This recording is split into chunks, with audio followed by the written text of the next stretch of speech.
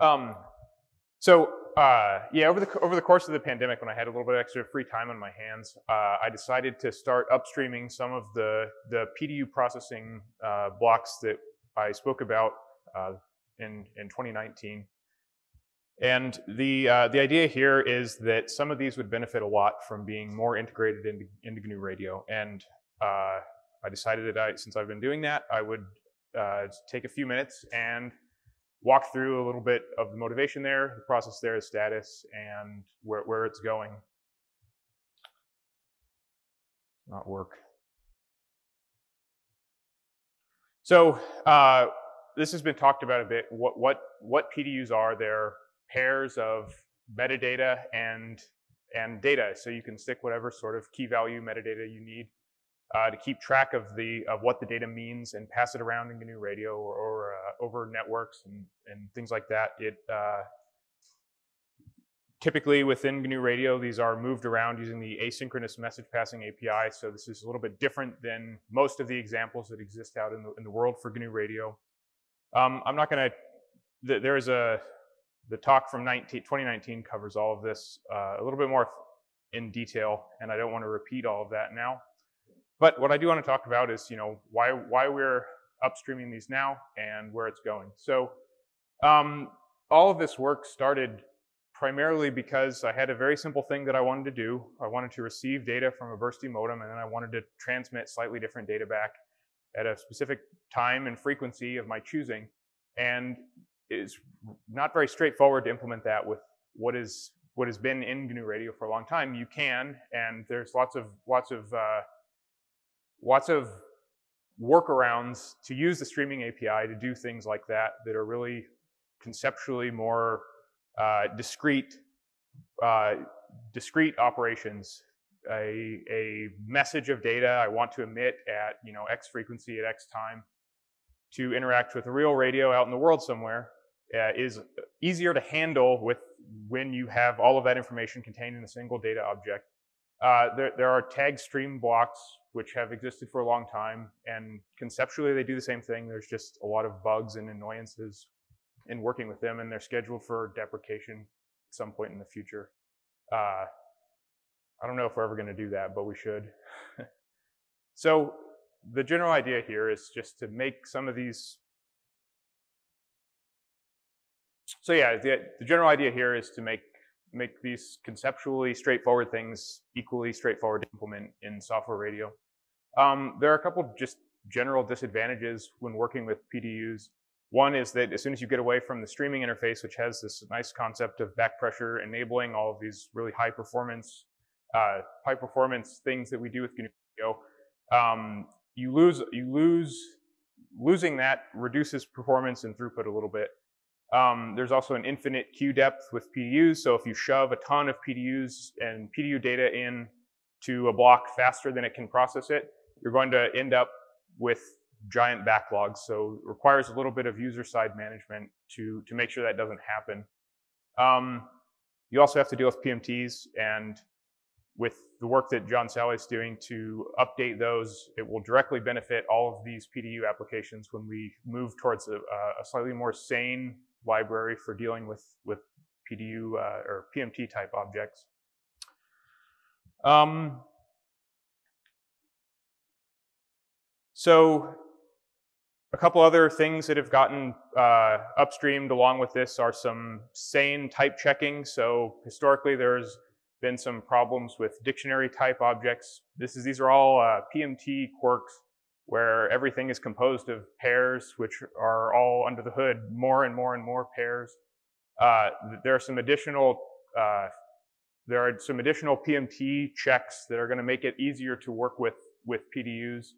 Um, standardizing data, vector data types. Technically, you can use any data type you want with PDU, but if you stick with some of the more uh, sort of five common ones you'll use in, in GNU Radio a lot, it makes your life a whole lot easier. There are also uh, a bunch of common port, message port names and metadata keys that are being upstream uh, that are that are in uh, GNU Radio runtime now that you can use the getters for those to, to save uh, a bunch of extra work in out of tree modules that, that are using PDUs. Um, building flow graphs, the, the sort of general, uh, general process for working with PDUs uh, or, or uh, building applications that rely on this method of processing is to find a way to convert your, your streaming data, which most sources are going to operate on, are going to provide streaming data of some sort, to tag features in that data and use one of the uh, now in tree blocks like the tags to PDU block to uh, aggregate the, the streaming data, put it into a PDU and start and start and uh, pass that out for downstream processing. There are a couple general ways to do that.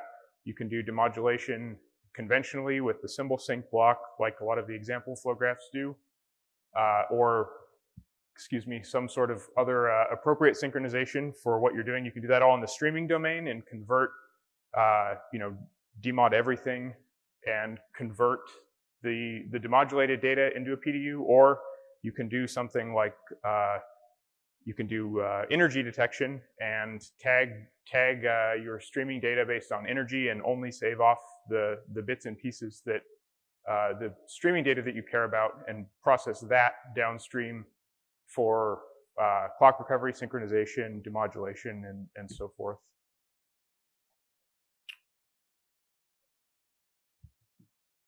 As I mentioned, the, the original motivation for this was really for transceiver-based applications where you actually want to transmit in addition to uh, like something in, in the real world, another radio.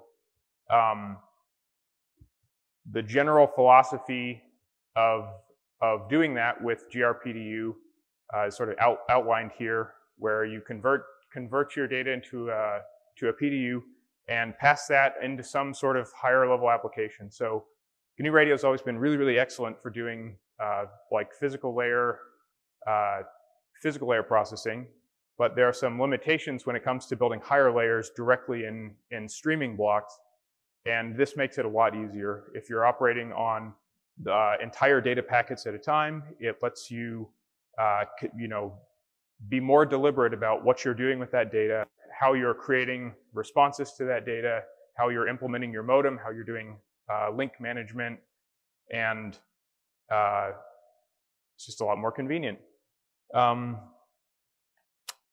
the module today, so we've moved a number of a number of blocks out of GR blocks, the great catch-all, and into gr-pdu, which are shown here. Um, there's some reorganization and uh, quite a few blocks have been added. There's a, a, a, great block, the PDU Lambda block is now, now in tree, which allows you to design uh, to, you know, you feed it an arbitrary function and it'll just do that function on all of your data. It's great.